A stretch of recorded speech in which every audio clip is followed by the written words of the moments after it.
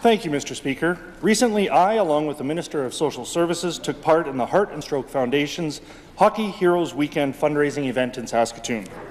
The fundraiser had strong support from participants, sponsors, and the community. Together, they raised $420,000 for awareness initiatives and CPR training in the province. The event included 15 hockey teams playing in the round-robin tournament. Mr. Speaker, part of the appeal was a once-in-a-lifetime opportunity for participants to play hockey along, alongside NHL alumni like great Montreal Canadiens, Brian Skrudland and John Scott. This twist added an incentive for teams to raise money as the top fundraiser was awarded the first pick for choosing a former NHL player.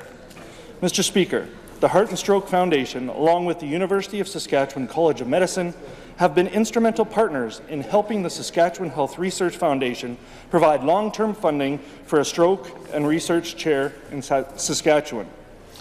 Under the leadership of Stroke Research Chair Dr. Michael Kelly, there are now province-wide protocols for emergency stroke evaluation and treatment. These protocols will help to ensure stroke patients receive intervention within those first few critical hours as well as identify patients who may benefit from a clot removal surgical procedure to improve chance of recovery. Mr. Speaker, I'd like to acknowledge everyone who raised funds and participated in the Hockey Heroes Weekend.